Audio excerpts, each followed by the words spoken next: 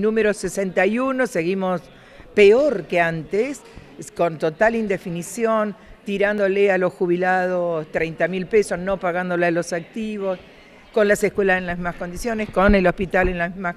Es decir, hay un desgobierno generalizado en la provincia de Chubut.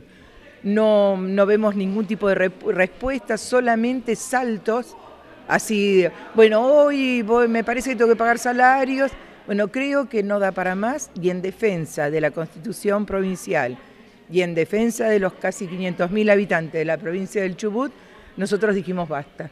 Eh, nos, vamos a viajar a Rawson eh, ya con un ánimo de plantearle al señor gobernador o nos presenta algo coherente que respete la Constitución, sino en defensa de la Constitución. Y le vamos a pedir al señor gobernador que renuncie en, estos términos.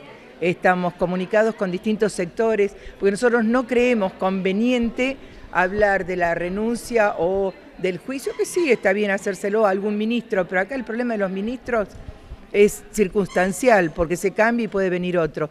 Hay alguien con mandato popular, eh, que es el gobernador de la provincia, para que cumpla lo que dictamina la Constitución. Ese alguien, que es el señor gobernador Arcioni, ha dejado de cumplir con el mandato popular. Él debe renunciar a hacer un análisis de lo que, cómo está enfrentando la situación y cómo va a enfrentar los cuatro años siguientes y tomar una decisión a favor del pueblo y a favor de la Constitución. Él debe renunciar.